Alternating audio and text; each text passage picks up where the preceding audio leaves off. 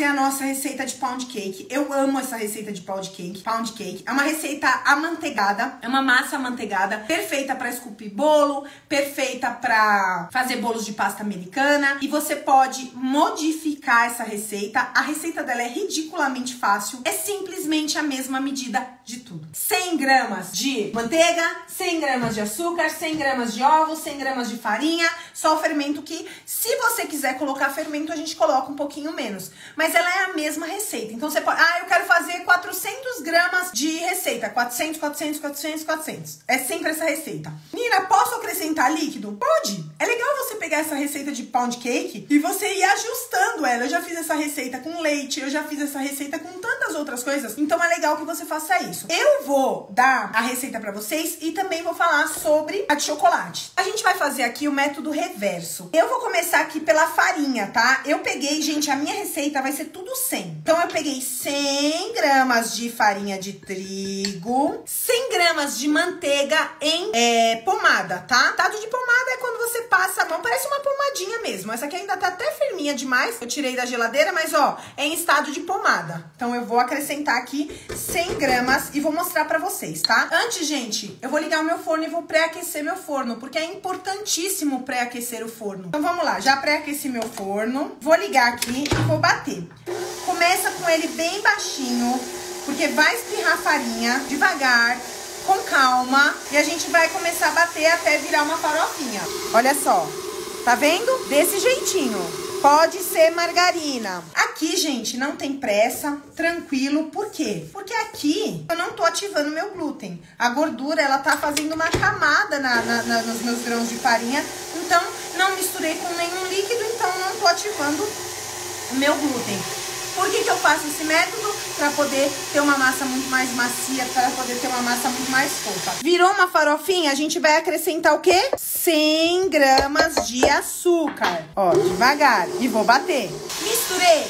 Tá, beleza? Virou uma bela farofinha. Olha só. Fica, uma, fica parecendo mesmo uma, uma massa de torta, tá, gente? Ó, uma massa sablé. A gente não começa assim? Fica parecendo mesmo. Só que agora, o que, que eu vou fazer? Agora eu vou começar a adicionar os líquidos, beleza? Vou pesar aqui, ó, 100 gramas. Eu tô batendo, gente, tá, tá virando uma massinha, tá? Vou pesar aqui, ó, 100 gramas de leite. Temperatura ambiente, tem, gente, ó. Vou acrescentar os meus ovos. 100 gramas de ovos. Gente, eu bati aqui 100 gramas de ovos. Deu, deram dois ovos. Aqui eu já começo a ativar o glúten. Por quê? Coloquei os, meus, coloquei os meus ingredientes, ó. E aqui eu já começo a ativar meu glúten. Então aqui eu preciso ser um pouquinho mais rápida. Ó, tinha virado uma massinha, eu vou descer pra ela bater. Virou a farofinha, você não precisa ficar batendo mais igual eu bati não, tá bom? E eu vou colocar, gente, aqui 3 gramas de fermento, ó. Já tenho aqui a minha massa. Tá bom, Nina, e essa massa, ela já tá pronta? Ela já tá pronta. Eu poderia simplesmente pegar ela e colocar ela dentro do forno. Mas eu não vou colocar ela dentro do forno. O que, que eu posso fazer? Agora, eu vou acrescentar biscoito cookies. Eu peguei um pacote. Eu tirei a partezinha de dentro, que é essa parte aqui o recheio. Esse recheio você pode guardar ele para fazer o quê? Fazer um brigadeiro. Você pode guardar ele para fazer um qualquer outro tipo de recheio. Eu vou usar só a parte da bolacha. Vou triturar na mão mesmo para fazer um, uma receitinha de cookies, tá? Poderia acrescentar aqui uma pasta saborizante, poderia acrescentar o que eu quiser. Eu vou triturar, ó, as bolachinhas aqui. Então aqui eu já tenho, por exemplo, uma massa, um cookies and cream. Posso acrescentar um pouquinho de pasta de baunilha. Coloquei uma gota.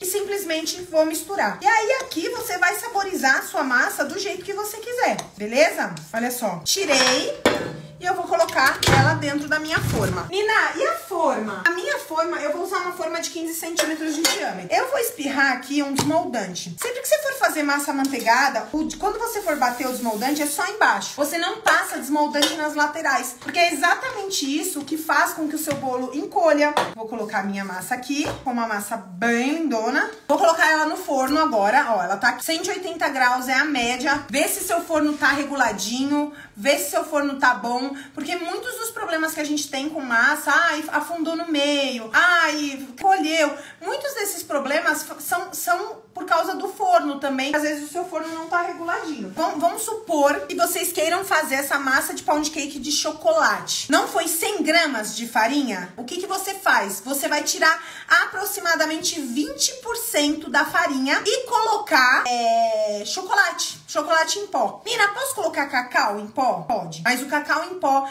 ele vai absorver bastante a umidade, vai ficar uma massa bem seca. Então, eu vou falar para você colocar aí um chocolate 50% para ficar bem gostoso, no máximo um chocolate 70%. Então, você vai fazer isso. Você tem uma massa, uma, uma pound cake de, de chocolate, por exemplo. Eu coloquei numa forma de 15 centímetros de diâmetro por 7 centímetros de altura. Eu não coloco em formas muito altas, porque, gente, o o, o, o, bolo, ele tem que assar de dentro para fora, de, deveria assar, de, ele precisa assar por dentro. Se é uma massa muito grande, corre o risco de o seu forno não dar conta de assar essa massa toda por dentro e aí acaba a massa afundando, acaba dando ruim. Nina, mas eu só tenho forma de 10 centímetros de altura, e agora? Pode usar, coloca um pouquinho menos de receita. E 100 gramas de leite, eu esqueci do leite, gente. O biscoito, é, é gosto o biscoito, eu coloquei um pacote, coloquei um pacotinho de biscoito. Você coloca a gosto o quanto você achar aí que você quer colocar, tá bom? Não quer colocar biscoito, quer colocar outra coisa?